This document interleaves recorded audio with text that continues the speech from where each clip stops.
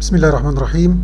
فيديو يخص طلاب الصف الثاني الثانوي لتأكيد بياناتهم على موقع وزارة التربية والتعليم لكي يتم الحصول على الأكواد الخاصة بالامتحانات في نهاية العام الدراسي هذا العام 2019-2020 في طبعا عندنا آه، قبل ما تخش على الموقع اللي هتأكد عليه البيانات افتح التابلت بتاعك الأول وخش على الإعدادات بعد ما تدخل على الإعدادات هتلاقي فيه في الآخر خالص كلمة about التابلت أو حول آه، الجهاز اللوحي بالعربي هتختارها وبعد كده هتظهر قدامك البيانات اللي قدامها دي.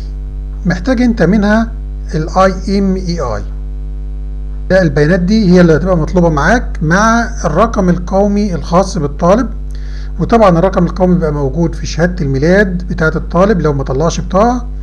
وموجود في البطاقة بتاعته لو كان كان طلع بطاقة. يبقى إحنا معانا دلوقتي ال IMEI ومعانا الرقم القومي. هتدخل على الرابط ده وهحطه لكم أسفل الفيديو. بعد ما تدخل على الرابط دوت هيظهر لك النافذة اللي قدامك. النافذة مكتوب فيها التقدم للاختبار الإلكتروني للصف الثاني وتأكيد صحة البيانات وطلب إنشاء أكواد الاختبارات. هتختار من هنا هتحدد الجنسية. بعد ما تحدد الجنسية وتكتب ال IMEI هيظهر لك النافذة اللي موجودة قدامك. هتكمل طبعا بياناتك. طبعا ال IMEI دوت جبناه من التابلت والرقم القومي جبناه من شهادة الميلاد أو البطاقة. بعد كده بتحدد تاريخ ميلادك اليوم والشهر والسنة. وبعد كده بتاخد محافظة الميلاد.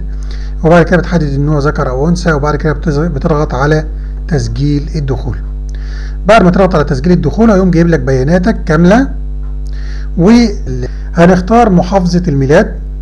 ده المحافظة اللي انت اتولدت فيها. والعنوان بتاعك هيبقى مكتوب تلقائي. ورقم المحمول بتاع ولي الأمر ورقم المحمول بتاع الطالب. ده بتاع الطالب والمفروض بتاع ولي الأمر بعد كده. وده الإيميل بتاعك بس يكون إيميل شغال سواء إيميل الوزارة لو كان شغال أو إيميل خاص على ال Gmail. أي إيميل خاص بك يكون آه متأكد إن هو شغال.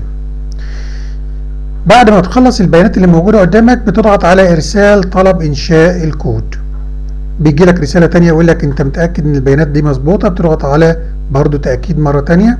بيدي لك رسالة برضو مرة تالتة ويطلب منك إن هيجي لك البيانات.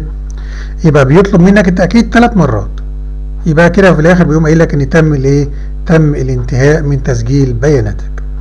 الموضوع ده مهم جدا بالنسبة لطلبة تانية ثانوي.